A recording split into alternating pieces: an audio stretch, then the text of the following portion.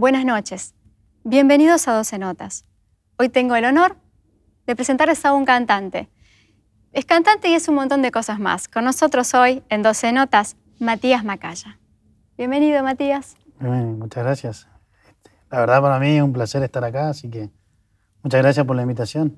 No, gracias a vos. Estuviste, ganaste el prefestival del Litoral del 2013. Exactamente, sí. El año pasado tuve la posibilidad, después de mucho tiempo, de hacer el camino más largo.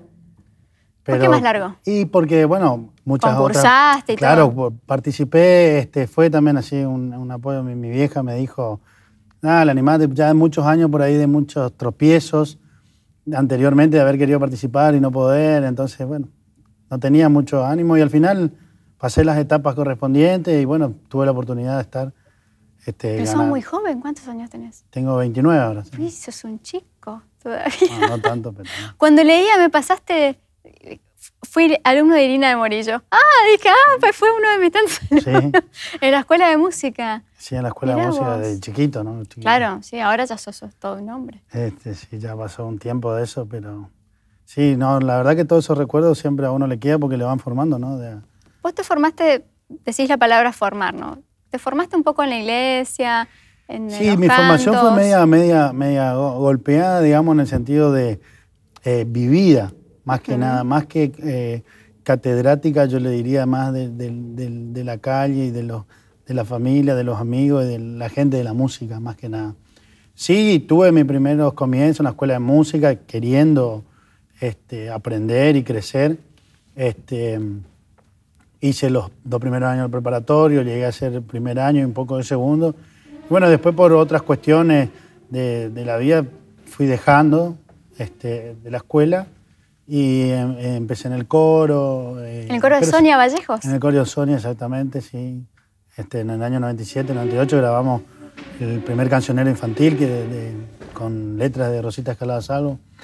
Este, fue un material discográfico que hicimos con el coro, una experiencia muy linda y bueno, ahí mataba esas, esas ganas de cantar y... Pero para, yo leí que vos a los cinco años hiciste un playback de Ricky Maravilla. Exactamente. No, por Dios, contame. Sí, no, fue una experiencia que ¿Qué tema era? No, ¿qué tema era? Y que tendrá el petiso. ¡Ah!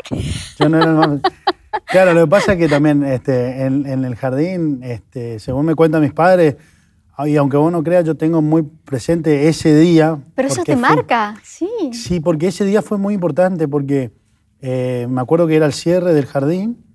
Este, y bueno, se le ocurrió, como yo cantaba y qué sé yo, siempre, se le ocurrió a la maestra hacer un show, digamos así, que yo cantaba y todos mis compañeritos muy bailaban. Muy divertido ahora sí. No, fue muy divertido y hay fotos de eso, realmente, de ese momento. no hay nada filmado, es más, lo perseguimos con mi papá a ver si podíamos recordar quién había filmado ese momento.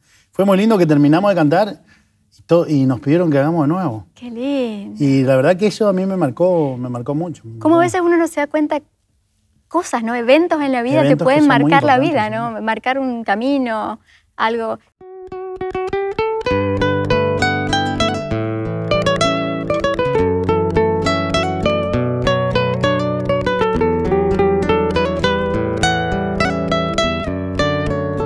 Quisiera que el tiempo quede donde está, en el letargo del amor donde te encuentro te ruego que en el refugio de tu piel me convencieras esta vez de tu regreso.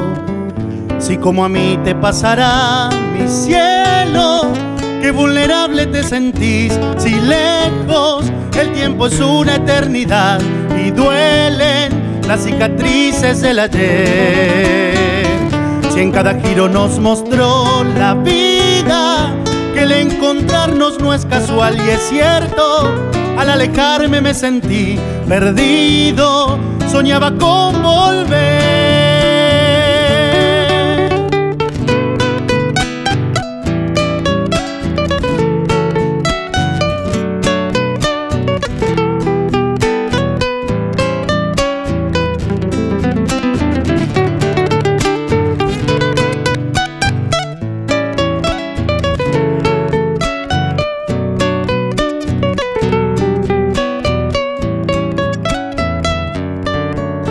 Por eso Quítame el miedo de un adiós o de vivir lejos de ti, porque no puedo. Recuerda que en la distancia el corazón una razón para vivir no encuentra. Si como a mí te pasará, mi cielo, qué vulnerable te sentís, tiempo es una eternidad y duelen las cicatrices del ayer. Si en cada giro nos mostró la vida, que el encontrarnos no es casual y es cierto, al alejarme me sentí perdido, soñaba con volver, soñaba con